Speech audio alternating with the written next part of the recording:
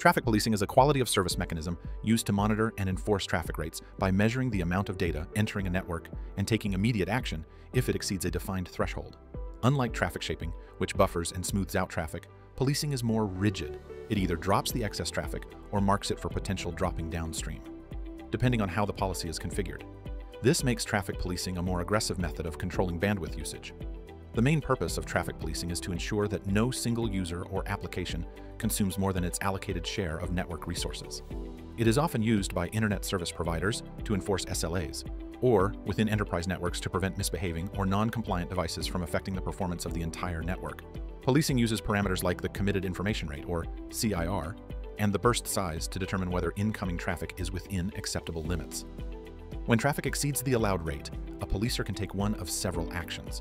It can drop the packets outright, mark them with a lower priority, such as by changing the Differentiated Services Code Point, or DSCP, or redirect them to a different class of service. This helps maintain fairness across the network and protects high priority traffic from being degraded by excessive or malicious usage. While effective, policing does not smooth traffic over time like shaping does, and excessive use can lead to increased packet loss and jitter, particularly problematic for real-time applications.